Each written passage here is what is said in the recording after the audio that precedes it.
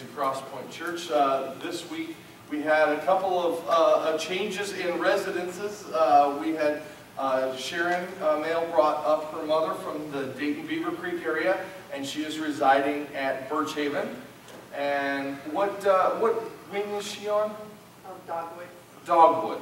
So if you go into the main entrance and you say, where's Dogwood at? They'll, they'll show you. It's really easy to get around there. And then Dorotha, uh, she had been in the hospital this week and she is out at Birchaven at least for the next two weeks.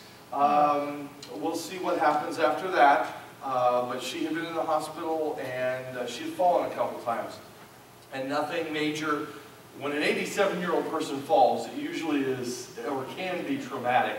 But thankfully, she's a good, strong woman, and she didn't break any bones or anything like that. So she uh, was able to go out to uh, Birchaven at least for the next couple of weeks until they determine what's going on, and uh, we'll see what happens from there. But she is in Honeysuckle, which is really close, uh, you know. So uh, she's in H10. So if you would, I know that she would enjoy any cards or visits or anything like that. And, and if you wanted to go out while you're there, if you wanted to go out and see Sharon's mom, I'm sure she would appreciate that. Uh, coordinate that with the males though, so because she's never met us and we don't want to confuse or frighten her. So that's why I said I would love to go out and see your mom, but I want to do that when you're there so I don't walk into the room ah, you know, I tend to have that reaction sometimes with people, so, um, yeah, a lot of, a lot of new people, so that's, yeah, this would be a good time to, to do that if you want to go out and see her, because she's getting kind of used to seeing a lot of new faces, so uh, I'm sure that that would just be uh, a welcome, uh, welcome visit, so. Uh, today we're going to be looking at a, uh, a series Last week we talked about Christ's um, sacrifice on the cross, his death and resurrection. Today we're going to begin a series talking about his return um, uh, from the book of the beginnings of the book of Revelation. Uh, much of this book can be very confusing. I want to just uh, start out by saying that, that a lot of times pastors don't preach from this book because it can be very confusing when you just read it. Um, but it's well worth the struggle as you go through the book. As we go through this introduction to the book of Revelation, I want to encourage you to write down any questions you might have. Because if you go through the book of Revelations and you're like, okay, got it, you're a better theologian than I. because this, the imagery that he uses, the language that he uses, the way he describes things, uh, is a lot different than the way we think and talk and write. So um, if you have any questions, I want, to, I want you to write them down. And when the offering plate goes around, just throw that in there. If you have, if you want to write those on your yellow cards, if you want a uh, piece of paper, whatever, you know, however you want to do that, convey those questions to me. Go ahead and, and uh, uh, put those down. And I, you know, this uh, sermon series was actually suggested to me last week. Was you know on, on one of the yellow cards. Hey, we would like to hear a sermon series about this, about Revelation. I was like, okay, awesome. So um, I, I, was excited to do this. Uh, so turn in your Bibles to the book of Revelations, the very last book in the Bible, real easy to find. um, and we're going to begin with the very first chapter in verse 1. I had, I actually have it, uh, if you don't have a Bible with you, I do have it on the screen. The revelation from Jesus, which God gave him to show his servants what must soon take place. He made it known by sending his angel to his servant John, who testifies to everything he saw, that is, the Word of God and the testimony of Jesus Christ. Blessed is the one who reads aloud the words of this prophecy, and blessed are those who hear it, and take to heart what is written in it, because the time is near. John, to the seven churches in the province of Asia, grace and peace to you from him who is, who was and who is to come, and from the seven spirits before the throne, and from Jesus Christ, who is the faithful witness, the firstborn from the dead, and the ruler of the kings of the earth. To him who loves us and has freed us from our sins by his blood, and has made us to be a kingdom and priests to serve his God and Father. To him be glory and power forever and ever. Amen. Look, he is coming with the clouds, and every eye will see him, even those who pierced him. And all the peoples of the earth will mourn because of him. So shall it be. Amen. I am the Alpha and Omega, says the Lord God, who is, who was, and who is to come, the Almighty. You know, this is the only book in the entire Bible that gives a special blessing to everyone who reads it aloud and anyone who hears it and takes to heart what is written in it.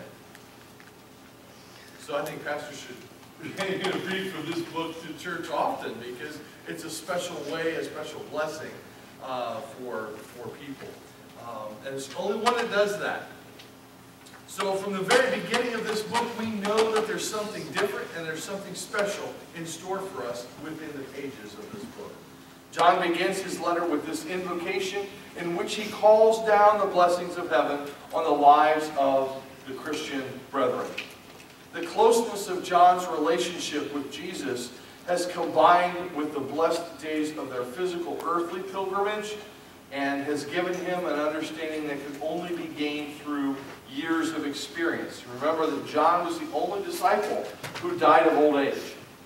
All the other disciples were martyred. John lived and died a long life. You know, he, he uh, was uh, uh, exiled on the island of Patmos, and he was an old man uh, when he passed away, unlike all of the other disciples. So, and, and that we infer he had a special kind of protection from God because this was the disciple that in the scripture is uh, described as the one whom Jesus loved. So he had a special relationship with God, with Jesus. And uh, so that, that is evidence in the fact that he was protected all his life. And he was exiled on the island of Patmos, but he was able to accomplish a whole lot. The love and thoughtfulness expressed by this matured saint revolve around the wondrous works of Jesus and his glorious return.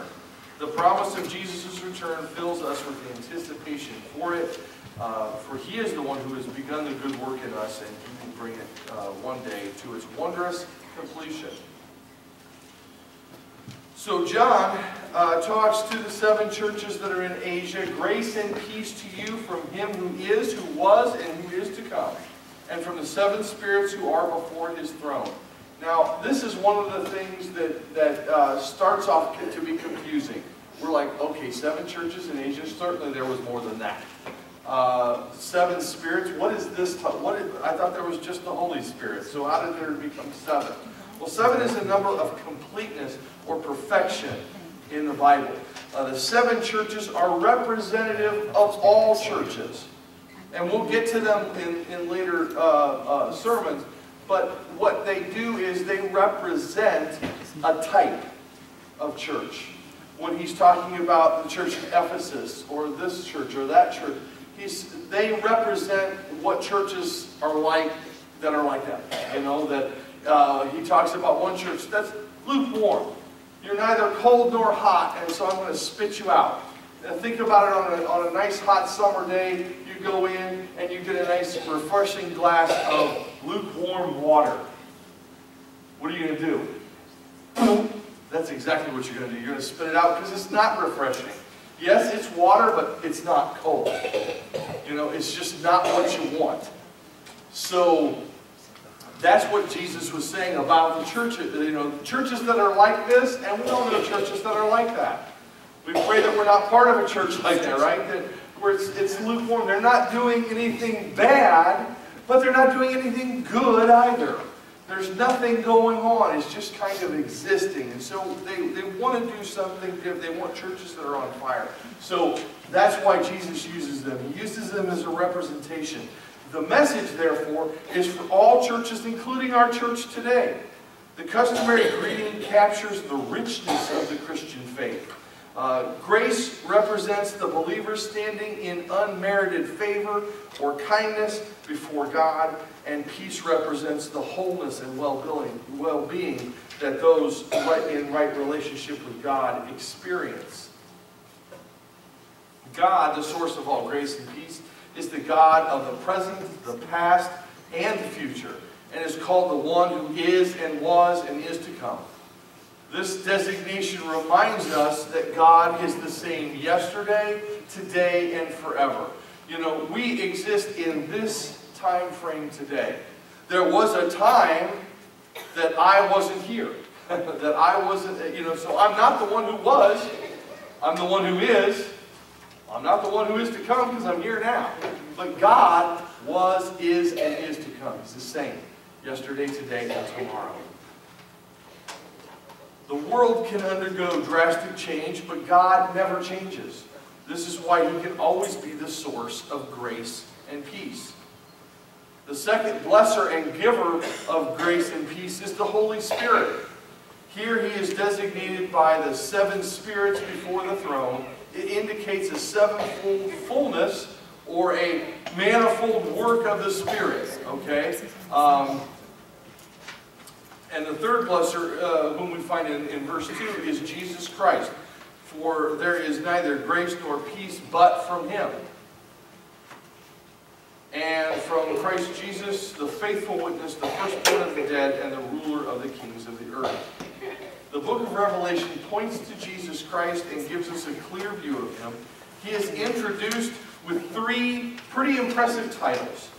Uh, he is the one who has borne faithful and true witness, which was a favorite word of John's, to the world. It is his character, and he cannot be other than a faithful witness. All that we need to know about faith and life, he has revealed to us. He faithfully revealed God's Word both during his earthly ministry and in this book of Revelation. He's also titled as the firstborn of the dead, uh, which is kind of a weird uh, title, uh, but he's the first to receive a resurrected body, uh, which is immortal. He was the first to rise from the dead, and the title probably carries the idea of sovereignty. Uh, first of all in position or place in chronology. Christ is first and others follow Christ in his resurrection from the dead. You know, all, all the righteous dead are included in the first resurrection in Revelation 20. We'll get to that. Uh, the wicked dead are raised after the millennium in chapter 20, verse 12. But again, we'll get to that later. Uh, most major religions in the world adore uh, some great but dead leader or philosopher. Christianity alone declares its faith in a living, resurrected Savior. A missionary was explaining this truth to some people. He said, I'm traveling and I have reached a place where the road branches off in two directions. I look for a guide and find two men. One is dead and the other is alive. Which of the two should I ask for directions, the living or the dead? The people respond, the living. Then the missionary said, Why do you follow a leader who is dead instead of Christ who is alive? If we believe in the actual physical resurrection of Christ, then we will have no difficulty in believing anything else in God's Word. If we reject this central doctrine, we might as well throw away the entire Bible. If Christ is not risen, he has broken his promises, he has failed in his prophecies, and we are still in our sin. But because Christ lives, we will live. His witness and resurrection are past. Easter is over. His fulfillment of the role as ruler of the kings of the earth is future. He will one day direct the affairs and the destiny of the, of the nations of the earth. He will be installed over all rule and authority after his victory over the beast and the false prophet in Revelation 19. But again, we'll get to that later. There's some pretty exciting stuff coming up. Jesus is coming again to put the wrongs right and redress the uneven balance of this present world. For all of you who say, when are things going to be made right? You see the evil prosper and the good suffer. You're saying, when is this? This is not the way it should be. And God's saying, you're right, it's not. And one day, I'm going to send my son back to correct it.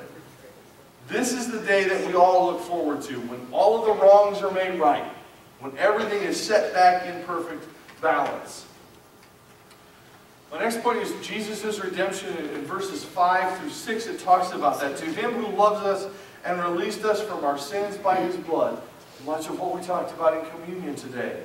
John now bursts into praise for Jesus' ministry for us. He proclaims Jesus is worthy because of three specific deeds. That he loves us, he freed us, and he made us to be a kingdom and priests. Jesus loves us and keeps on loving us in the present tense. Jesus loves us, uh, his love for us is in full force now as it was when he was delivered up for us on the cross. I know. The breadth, the length, and the depth, the height of the love of Christ. Who can measure it? Who can comprehend it? It, is it encompasses us like a shoreless, bottomless sea. It is beyond our knowledge and thought. The love of Christ for the redeemed is a permanent, abiding fact. There's nothing that you can do to ever make God love you less. Nothing you can do to make him love you less. This love has released us and freed us and loosed us from our sins. How was this wonderful uh, wonder of wonders accomplished? By his blood, by his death, in our place for our sins on the cross. Forgiveness and release was granted to those who will believe and appreciate it. The sacrifice of Christ that he brought us uh, brought us freedom from the chains of sin that bound us and seek to bind us. The shed blood of Jesus looses us from our sin to serve God. In the 14th century, a man named Robert the Bruce, next in line for the Scottish crown, led the fight to gain independence from England. At one point in the conflict, the English were about to capture him. He escaped into the forest, so they put bloodhounds on his trail. When Robert the Bruce heard the dogs bang loudly as they closed in on him, he headed for a stream that flowed through the forest. He plunged into it, waded upstream for a short distance. Coming out on the other bank, he was now in the depths of the forest. Within minutes, the hounds had closed in on this, and tracing his steps came to the bank, but they went no further. The English soldiers urged them on, but the trail was broken. The stream had carried the scent away. A short time later, the crown of Scotland rested upon the head of Robert the Bruce. The memory of our sins, prodded by Satan, can be like those baying dogs. But the stream flows red with the blood of Christ. If we trust Jesus, we never need fear of being condemned for our sins. Our guilt is gone forever because of Christ's blood. By grace through faith, we are safe. No sin hound can find us. The trail is broken by the precious blood of Jesus. There was a coal mining town uh, that was dotted with coal yards everywhere. One day a crowd was gathered in one of these storage areas to watch a rather humorous spectacle. The duckling was taking a bath in a basin. He bobbed his head and body into the water over and over again. And as he did, he was getting dirtier and dirtier because the water was full of coal dust. Finally, he overturned the basin and scampered away under a woodpile, black from all his efforts. It may be funny when a duckling tries to wash with dirty water, but when a person tries to wash away his sins, the result is tragic. God has provided his own cleansing method for sin, but many try to substitute the water of their own works. Through religious activities, these people go through the motions of spiritual bathing, only to find that their very best deeds cannot make them presentable to God. The stain of sin is not removed. Where can sin defiled men and women find this cleansing? In the blood of Jesus, who died on the cross for all sin. To try some other way to depend on works or moral behavior is like washing in the coal yard's wash basin. By faith, accept the cleansing that God has offered through the death of his son, the shed blood of Jesus is the only way to really get clean. I did a uh, uh, youth service once where I was trying to explain this, how, uh, how difficult it is to get clean from sin. So I had all the youth write down a sin that they struggled with on a piece of paper. And up front I had a five gallon bucket. And I said, I want you to put the sin the paper in this five gallon bucket. So they dipped their hand into the mud that was in this bucket and they placed it in there. I said, okay, now wash your hand. How can you wash your hand without getting this mud everywhere, right? Somebody else had to do it for them. So I stood there with a pitcher of clean water and washed their hands for them so that they were able to then be clean. I said, it's the same way. We can't wash our own hands. We can't get that mud off our own hands without getting that sin everywhere else, right? You know, guys, how many times have our wives yelled at us because we've been out working on the car or working in the yard or something? We come in and our hands are filthy and we make a mess of the sink. We get our hands clean, but the sink is a mess now, right? And so, yeah, I see all the wives making this face. Yeah. So, but we do that and we, we make a mess of everything else. We have to have somebody else help us to get truly clean with that. And that's what Jesus offers us. Verse 6 tells us what happens to those who are changed by the shed blood of Jesus. And he has made us to be a kingdom and priests to God his Father. To him be the glory and dominion forever and ever. Amen. The glory brightens as the blessings continue. That we should experience the love of our Lord is wondrous. That we have been forgiven for all our sins at the cost of his own blood is almost too much to believe. Added to this, that we are a kingdom with the full prerogatives of royal priests. God's people are a kingdom not only because God is their sovereign, but because they participate in the reign of Christ. Here's one of the few places the church is called a kingdom in, in the Bible. Believers are a kingdom because they will fill the role of princes alongside a messianic Christ. Jesus has promised his disciples that they would share in his rule. In several different places, Matthew chapter 5, verses 2 through 5, Matthew chapter 19, verse 28, Luke chapter 22, verse 30, he promised that we would share in his kingdom. Believers are also priests to God. They have immediate access to the very presence of God where they perform the priestly functions of offering thanksgiving, praise, and worship to God. Right now we perform the priestly ministry of speaking to God on behalf of men and, and to men on behalf of God. We seek to reconcile men to God that they too might become a priest to God and be a member of God's forever kingdom.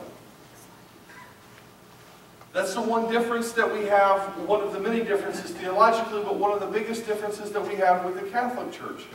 A lot of uh, Catholics believe that you have to go to the priest to have him pray for you.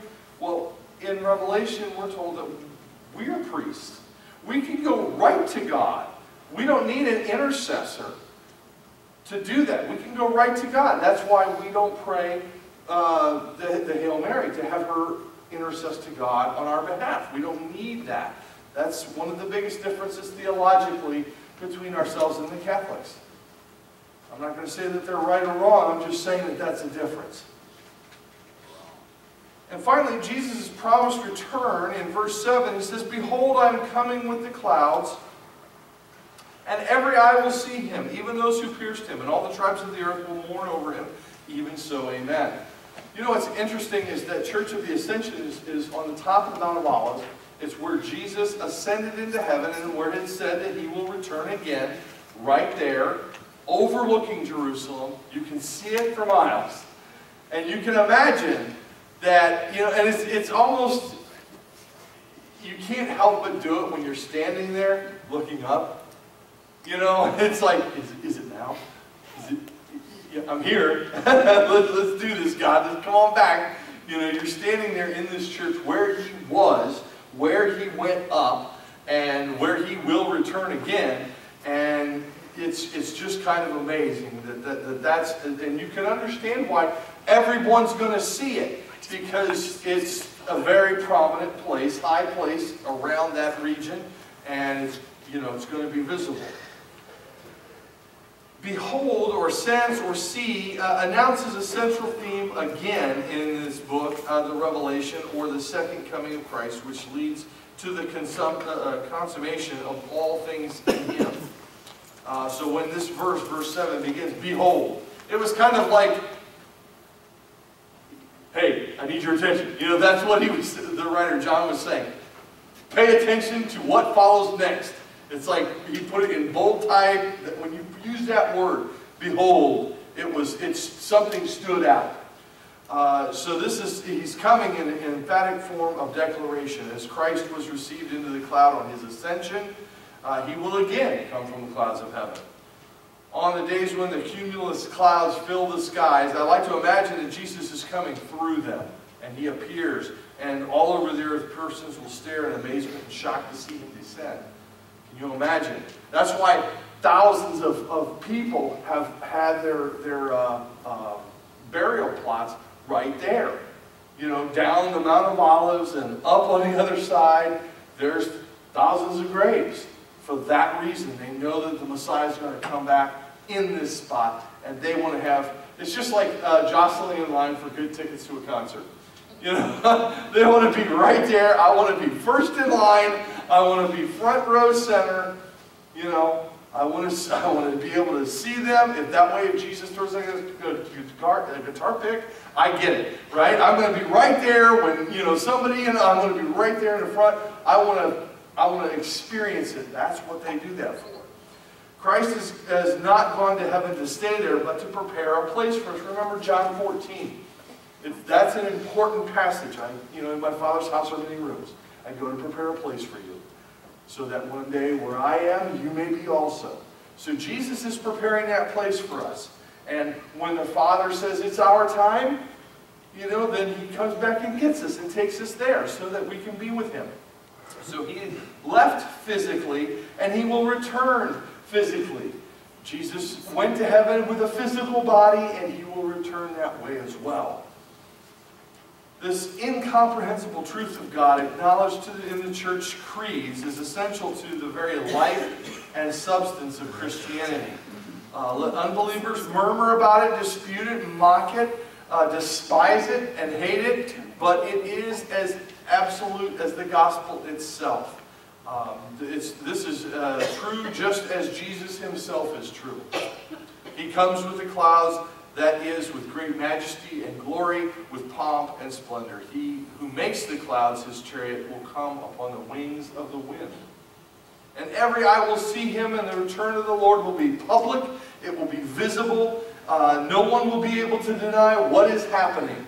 You know, it would be like, oh, that's just an optical illusion. Oh, he's really here. you know, it's like, ta-da. You know, every, everybody was going to see it. And there's going to be no excuses on that day for anything else, believing anything else. You know, oh, it's Jesus. Uh, yeah, I believed in you. Oh, really? You, you know, you said this was nonsense back on such and such a day. Well, I really didn't mean it. you know, I mean, can you imagine giving Jesus an excuse?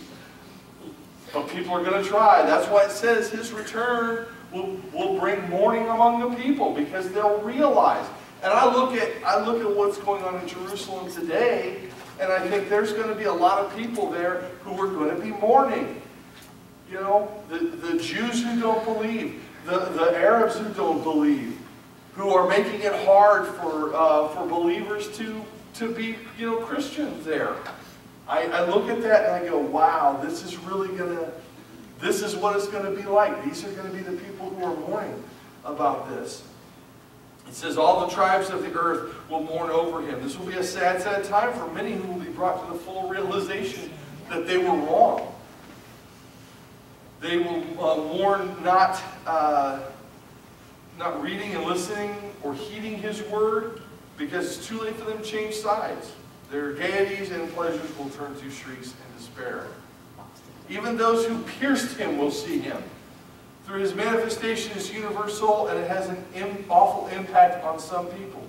There are those who have mocked Christ and disbelieved his offer of salvation.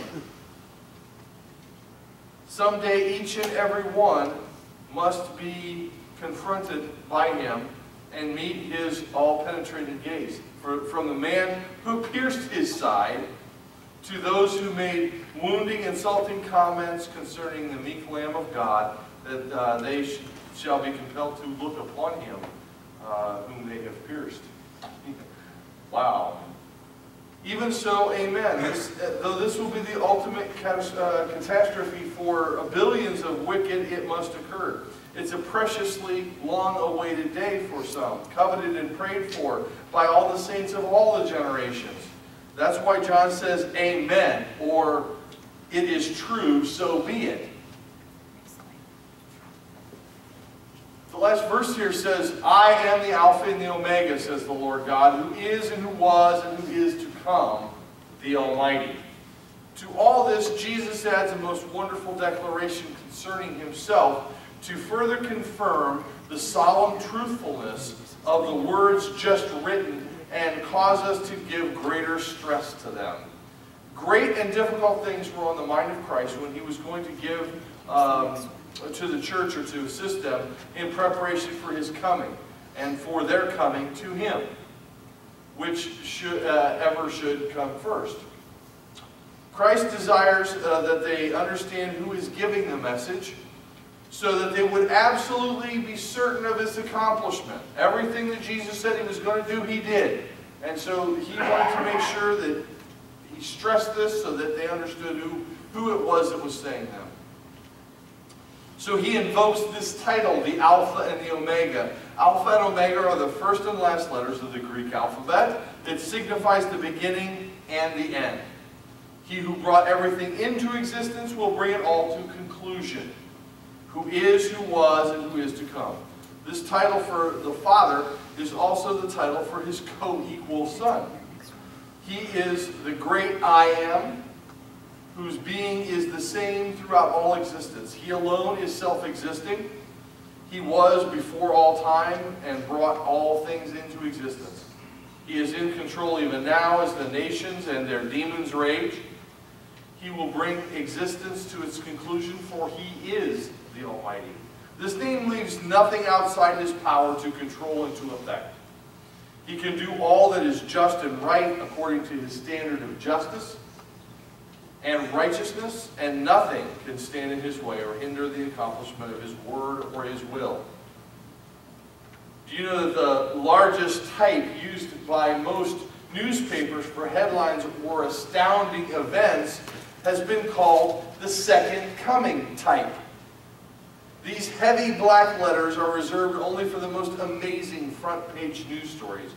This dramatic type has been used to announce the beginning and the end of wars, the moon landings, presidential election winners, natural disasters, and other significant events.